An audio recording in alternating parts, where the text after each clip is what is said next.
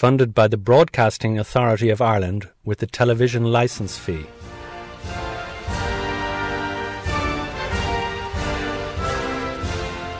I'm Paul Wright and you're listening to the second programme of Greening the White House, the seven part series which explores the island of Ireland ancestry of various US presidents, with a key focus on the ancestral homesteads and locations linked to them in Ireland. In our last programme, we investigated the County Antrim roots of the seventh US President, Andrew Jackson. In this programme, the spotlight falls first on the 11th US President, James Knox Polk, who served in high office from 1845 to 1849. In and around the 1670s, James Knox Polk's ancestors left the Lifford area of County Donegal to establish a new life in America. Historian and genealogist Brian Mitchell of the Tower Museum in Derry City. The Ulster connection is that his great great great grandfather was Robert Bruce Pollock. It was in it was in America that the name was abbreviated from Pollock to Polk, you know, P O L K. Now Robert Bruce Pollock was a a soldier adventurer under you know in Cromwell's army. He ended up in the Lifford area because he married into the Tasker family of Clonleigh, which is the parish that Lifford is in. So, I mean, they were considerable landholders, and I think Cavanagh House, which stands to this day, would have been sort of in the centre of their property near the village of Ballindrait, would have been the ancestral home. And staying with Cavanagh House, here's historian Eddie O'Kane of Cavanagh House to explain President Pollock's ancestral link to Magdalene Tasker and her family's home, Cavanagh House which was built by our father Roger Tasker in the early 1600s. The link between the president comes about through the uh, Tasker family originally. Uh, so Roger Tasker had uh, two daughters. The eldest daughter was Barbara Tasker, and her younger sister was Magdalene Tasker. Now, Magdalene Tasker married an officer in the army called uh, Captain Porter and he died, and then she married another officer from his regiment, and he was uh, Robert Bruce Pollock. So the house was given to the elder daughter, Barbara, as part of her marriage portion when she married a man called John Keys. And uh, the younger sister, as I said, married uh, Robert Bruce Pollock, and they eventually emigrated in the late 1600s to uh, America uh, to Chesapeake Bay, and then they settled in Maryland. And uh, her descendant, several generations later, was the President of America, James Knox Polk.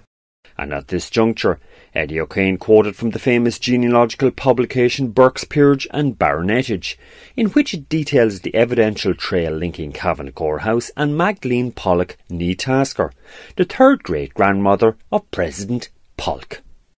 John Keith married Barbara, daughter and heiress of Roger Tasker, to whom her father assigned Cavanagh which estate henceforth became their principal residence. And then you have the lineage of the Keys going down from there. And Eddie, just the key phrase in that document, the archival document, Burke's Peerage and Baronetage, what's it again? What's the line again? That key line that. Well, the key line there is uh, John Keys married Barbara, daughter and heiress of Roger Tasker, to whom her father assigned Cavanagh, which uh, estate henceforth became their principal residence. So that refers to uh, Roger Tasker's ownership of Cavanagh and his handing over the uh, property as a marriage portion to uh, Barbara. And Barbara, as we know, was the elder sister of Magdalene. In other words, Magdalene Tasker, the third great grandmother of the 11th US President James Knox Polk, would have grown up, along with her elder sister Barbara, in Cavanagh House, situated in Lifford, County Donegal. Kieran Fagan, manager of Monreagh Heritage Centre in East County Donegal. President James Polk, his ancestral home is Cavanagh House, and uh, that still stands to the present day. It's been continuous occupation. I mean, they're still occupied to this day, standing from the 1600s. A fine residence, by the way.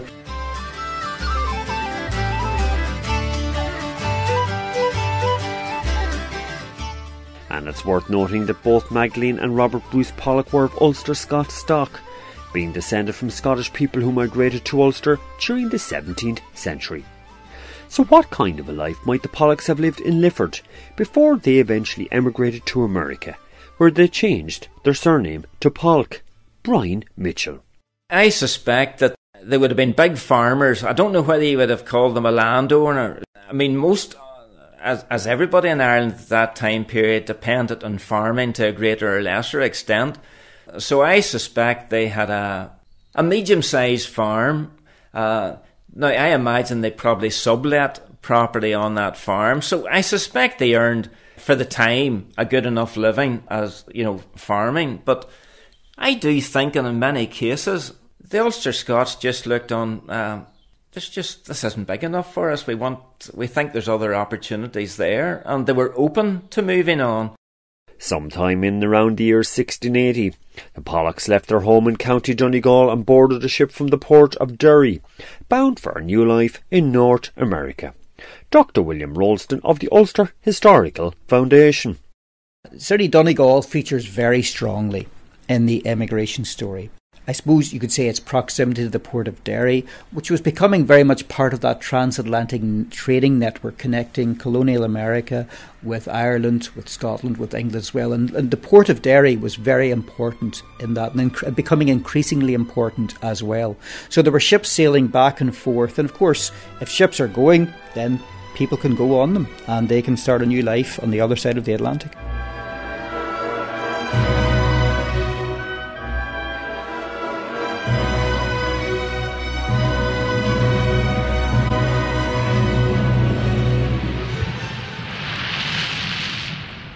Well, Derry being a natural port, and there was really just two natural ports in Ireland. You had the, the natural port down in Cork, where a lot of people who went to Australia, but Derry housed a lot of people who were interested in going to the North Americas. Derry City local historian Tony Moore. We certainly went to Philadelphia, we went to Boston, we went to New York from here at Ellis Island in New York. Ships actually sailed here, it would have taken two months to go all the way to America. So those we were quite busy here. However, the voyage out was anything but easy. Historian Brian Mitchell. As we know now that you fly it in a few hours, but it was definitely a hazardous journey. And despite the hazards of the Atlantic crossing, nevertheless America was viewed by most emigrants as a land of endless opportunities.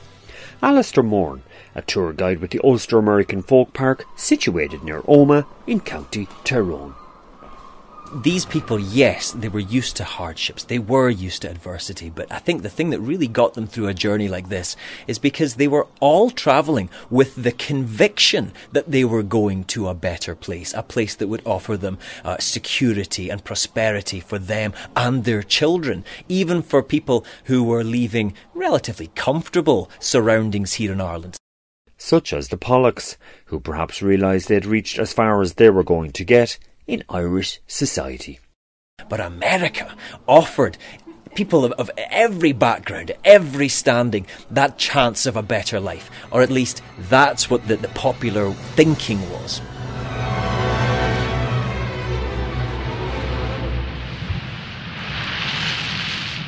So, what would life have been like for Robert and Magdalene Pollock, the ancestors of the future US President James Knox Polk, once they arrived in America in about the year 1680? Historian Eddie O'Kane. Again, if you look at accounts of that period in America, you would have come across lots of references to people living in communities in stockades and so on as well, and uh, also uneasy relationships with the various tribes who owned the land around there.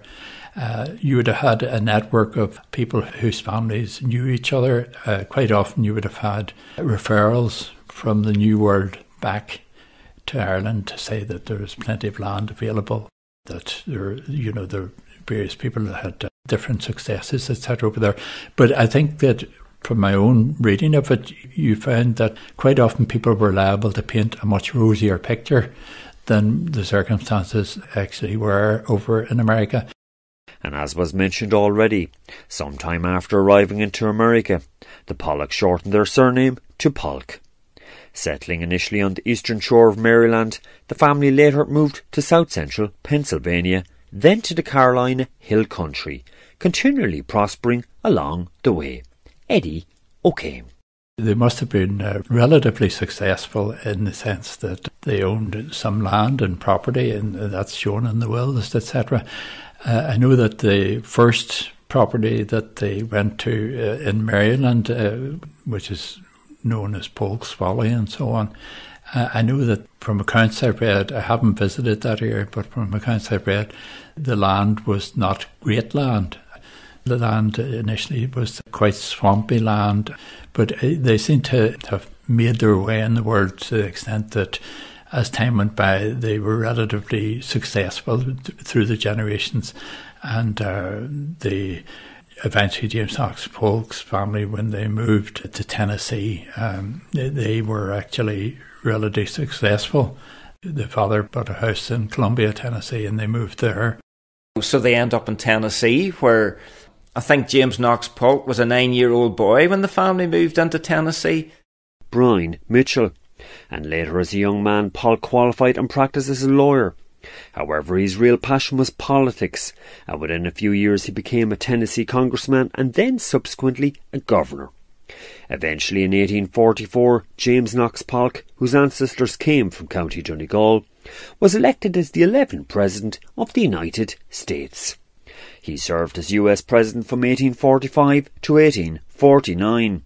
So just how successful was his presidency?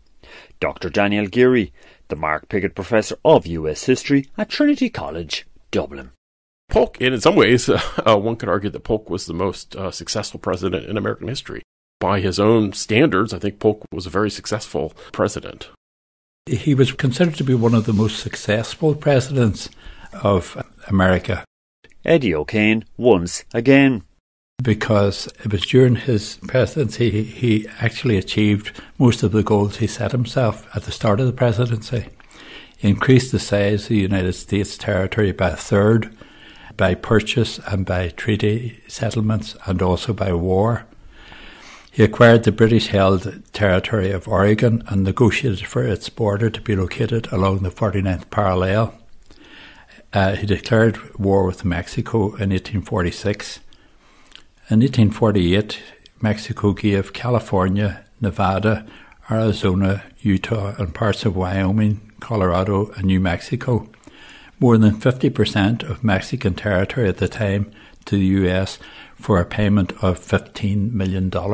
So that wow. was the. So, in other words, they, this guy really expanded the, what we now know as the contiguous U.S. United Absolutely. States it was under uh, Polk, who had his roots in County Donegal here. That's right. However, huge controversy exists as to the ethics of much of President Polk's expansionist policies, especially concerning the war which he started against Mexico to gain territory from it. Also, from a purely Irish perspective, it's worth remembering that James Knox Polk was US President during the Great Irish Famine from 1845 onwards. So did he do anything to help a famine ravaged Ireland? Professor Christine Kinealy, Director of the Great Hunger Institute at Quinnipiac University in Connecticut, USA. From America, we know the president gave a donation. We know he gave $50, which was criticised by his political opponents. Uh, so I suppose, you know, something doesn't change.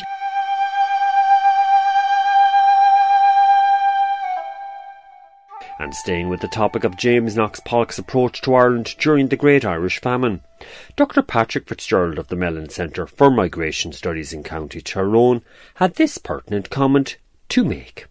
Another thing that's actually quite interesting to remember is that British North America, what we remember today as Canada, its record in 1847, where it really tried quite hard to redirect the flow of famine immigrants across the Atlantic towards the United States because of the concerns around disease and so forth at places like Grosse Ile. So, in a way, throughout that entire period of the famine from 1845 through into the early 50s, the ports in America did remain open to migrants who were coming across the Atlantic.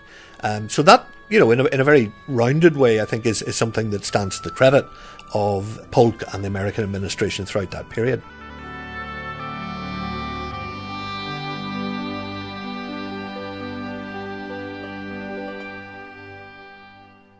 And veering away from President James Knox Polk, whose ancestors came from County Donegal, but staying with the topic of US presidents with ancestral links to Ireland.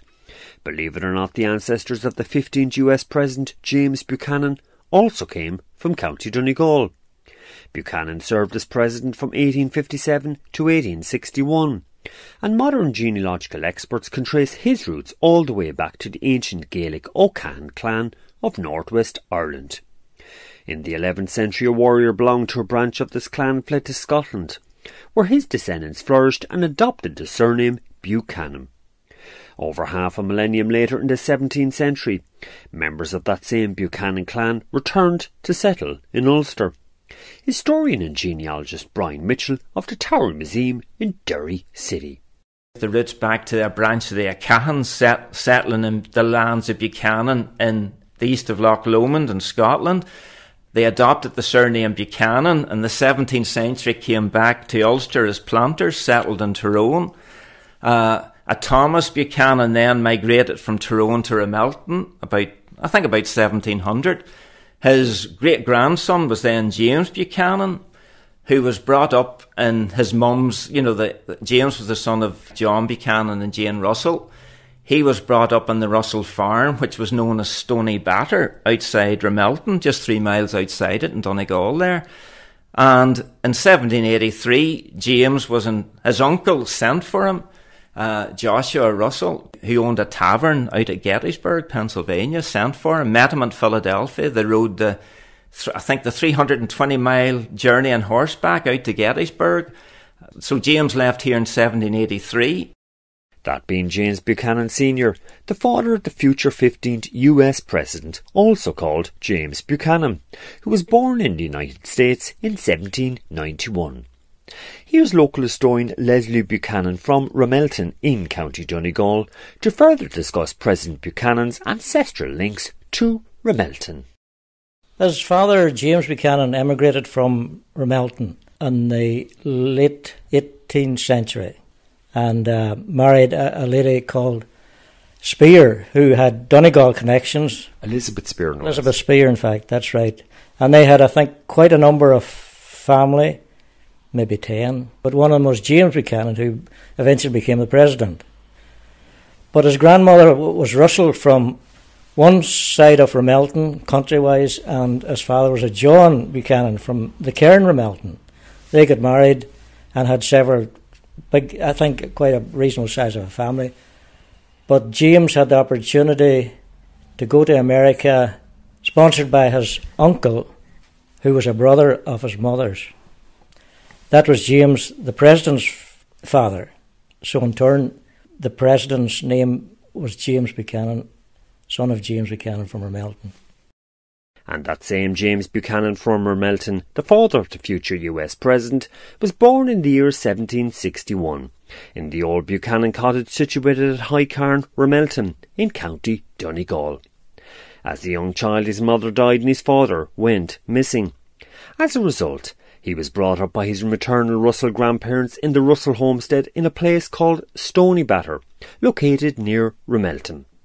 Now, at this juncture, local historian Leslie Buchanan took me in his car to the remains of the old Buchanan cottage situated at High Carn, Ramelton, where the President's father was born.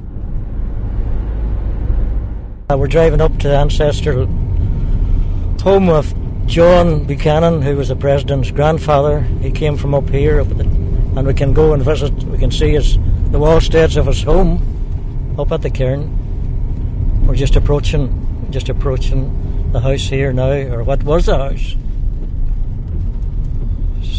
So. There's a beautiful thatched house just adjacent uh, to the location here. I mean, you couldn't straight out of an Irish tourist board postcard. there that you met in the book, Sarah Buchanan she tells me that this these wallsteads here was the Buchanan household from John Buchanan, who was the president's grandfather.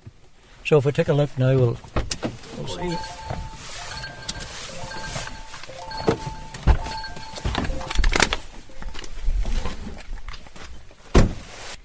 And as you were told, and uh, as, as James Buchanan, the president, said in his memoirs, he could stand in the street and see see the water which we, we, we it was was telling the truth. We can see the yeah. the we're looking down now, and we can see on the Lough Swilly. That's right, mm-hmm, from a from a high cairn. That's and true. just give our listeners a word picture here now. This is where the father of the president was born, here in High Cairn, Right you know, here. and his father James, and then James, the son, becomes the president. That's right. hmm But as, as we know, he was ra- raised at another location on the other side of town. Stony Batter. Stony Batter, that's right.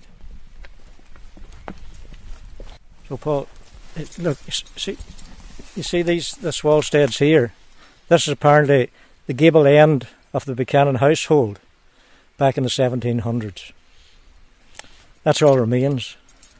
We know it, it it has to be a building because it comes to a point here which at the right angle to this wall here, so it obviously it was a building. It wasn't just a, a wall. So that's 90 degree angle, 90 perfect degree 90 angle, degrees. yeah, so it's yeah. the corner of a Mhm. building, obviously, when you Mhm, look at it. mhm.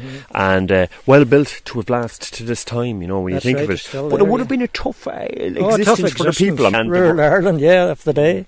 And you Th- and adjacent to this is the, the cottage, the thatched cottage, just to verify that that's conditions that were here at that particular time. Yeah.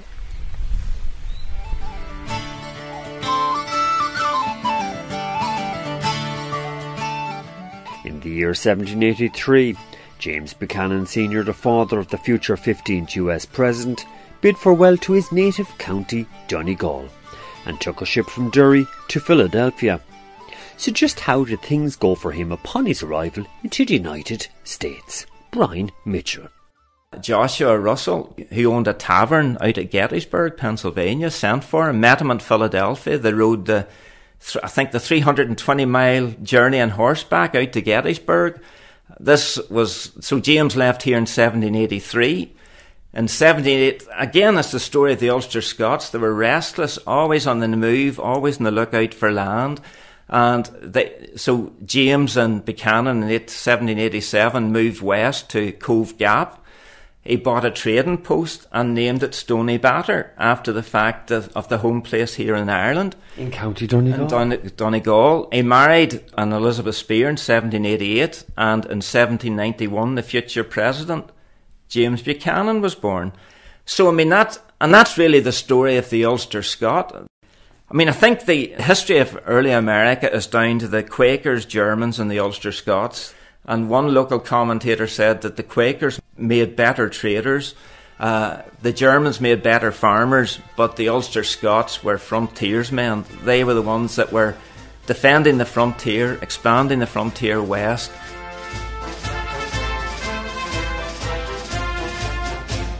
And as Brian Mitchell just touched on, James Buchanan Sr. rapidly prospered in America. Shortly after his son James was born in the year 1791, the Buchanans moved to a farm near Mercersburg, Pennsylvania, and later in the year 1794 moved into Mercersburg town itself. Within a short time, the future president's father became the wealthiest person in the town, as a merchant farmer and real estate investor. So why did James Buchanan Sr. prosper so rapidly in America? Kieran Fagan, manager of Monreagh Heritage Centre in County Donegal. It's often says when people emigrate to another world, they rapidly become successful because they're they're conditioned to think this is the land of milk and honey. If you believe that, you know, America is the best place in the world, and your your psychology is going to change when you get there. Yeah, because all of us want to confirm what we believe by action. And I think that might have been the driving force as well. This is the land of opportunity. This is the land of milk and honey. I mean, we're going to make this our own. Basically, we're going to be successful, and um, There's a fire in the belly. the fire in the belly. And I mean, they, they they maybe saw less restrictions than that what they were used to here. Yeah, they, maybe there was not the same type of negative influences, uh, persecution or economic or religious or whatever. Lack of horizon. Yeah. So they really had, uh, I would say, had this vision that this is now the new beginning.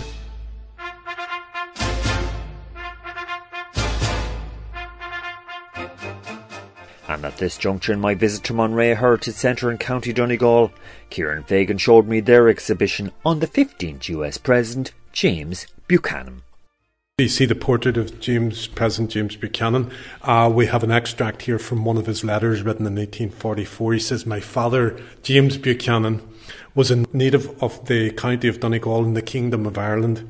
He emigrated from that county, having sailed from Londonderry in the brig Providence, bound for Philadelphia on the 4th of July 1783. That's an extract from his letter, so you can see his strong Donegal roots.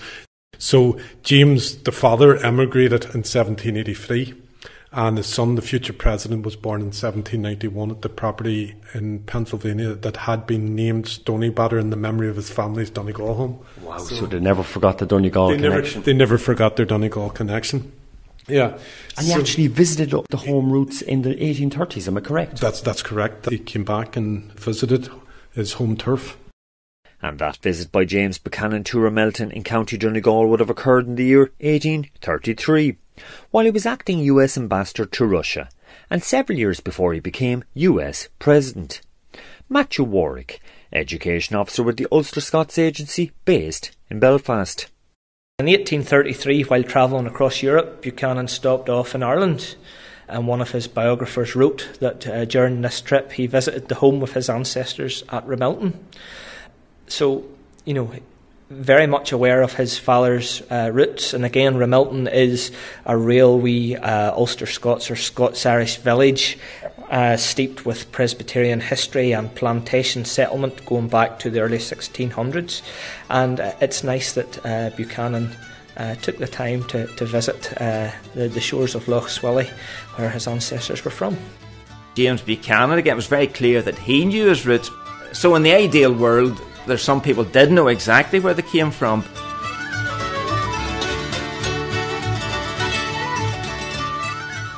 And to discover more about the island of Ireland ancestry of yet another US president, then make sure to catch our next number 3 programme in this 7 part Greening the White House series, when we'll be visiting the County Tyrone ancestral home of the 18th US President Ulysses S. Grant.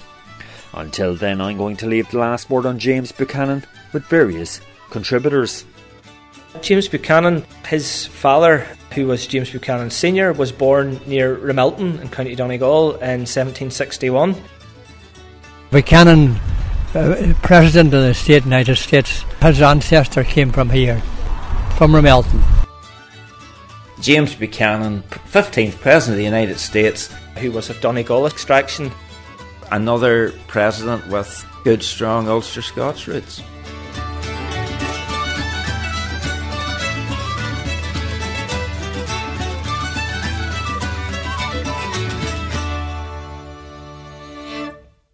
funded by the Broadcasting Authority of Ireland with the television licence fee.